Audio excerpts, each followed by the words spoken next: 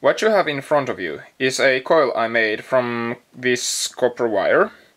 It consists of something around 2500 turns, uh, 110 turns per layer, each insulated by a layer of paper.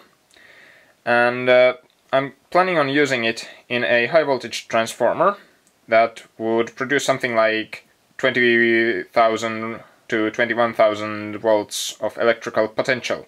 The problem with that is that I'm afraid that the paper might not be enough, so I need to insulate the coil somehow.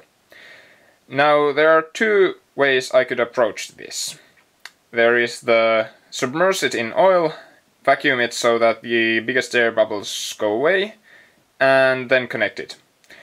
And I don't like it because it would mean I would have to haul a jar of oil with the transformer everywhere and if the jar broke or I knocked it over it would spill the oil everywhere and it would be a mess that I don't want to clean.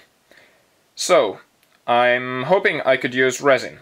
The problem with the resin is that the cure time might not be long enough and the catalyst might evaporate if I put it under vacuum. So, I'm planning on uh, making an experiment that would show if using resin is feasible in this situation.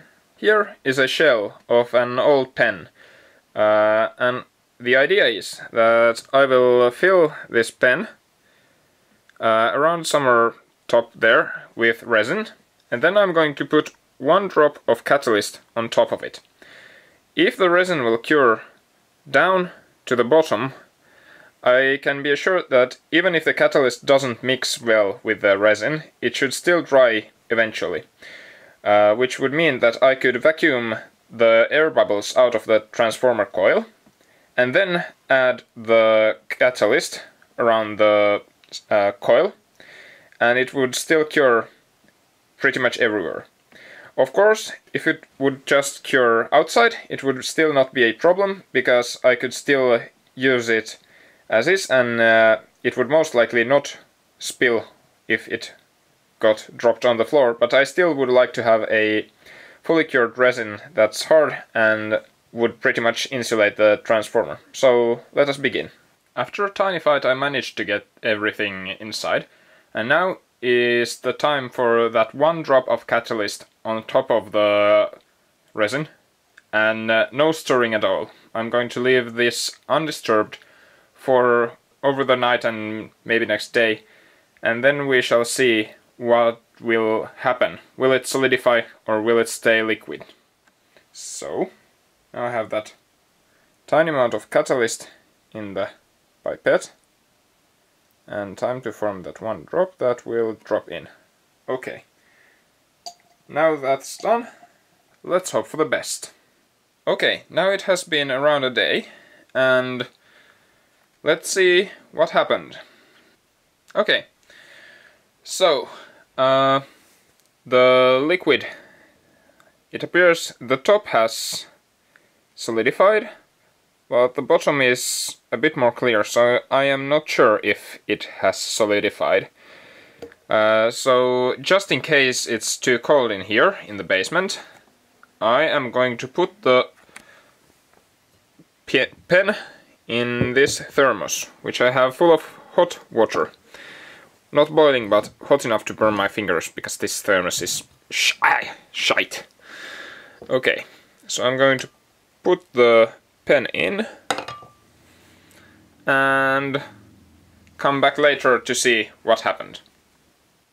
Okay, a couple of hours later, let's see what came out of it. Hmm. Let's get it into the focus. Yes, as we can see, there are some new cavities in the top. But the bottom part seems to be liquid. So one drop can be can penetrate the or continue the reaction for something like what would I say two centimeters which is kinda not what I was hoping for but this could work second let's test if we can poke it around, so if it's solid enough. I can push it with some force. As we can see the stick went into the tiny cavity that was formed. But it seems to be solid enough. So yeah, I might go with this. I, uh, my plan will need to formulate a bit more, but yeah. It appears I was wrong. This is a day later from the previous clip and I decided to file this pen open to see if I could get the liquids out before I throw it away. And looky looky, it's completely solid. So what I told about the plug, it was just a visual, I would say, glitch. It actually managed to solidify all the way through, which, which means that my plan of first evacuating the whole transformer from air and then putting the catalyst in a couple of days later would actually be feasible. This makes me very happy.